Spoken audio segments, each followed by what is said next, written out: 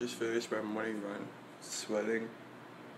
I'm surprised. I woke up this morning, my leg, my calves weren't sore anymore, so I did about a 30 minute run. If you want to check out my run, hit up my Strava account. You see where I ran, how long, what pace. Really weird when you when you buy one single red pepper, and they have to put it in plastic for one pepper. Like, what's the point of that? Putting one pepper in plastic. You're really trying to ruin it. I do make copper rings now, so if you guys are interested.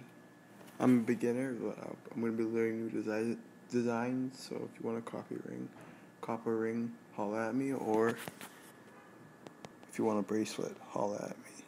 Hungry today because I've I bought some dates and sometimes they sit in my stomach and I'm oh, I get I stay full for hours. Anyways, I'm probably gonna eat a little bit of this and just put the put the rest in the fridge. Show you what I got in this bowl.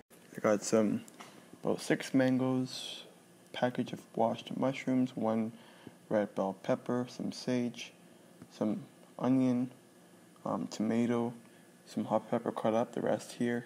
These are some of the rings that I've been I made today. They're not that good, but I'm gonna get better. And I made this one, copper. The rest I bought.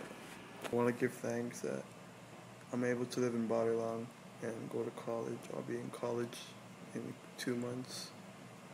You know, look for I gotta look for another job. Just give thanks. You know, love yourself. Know that.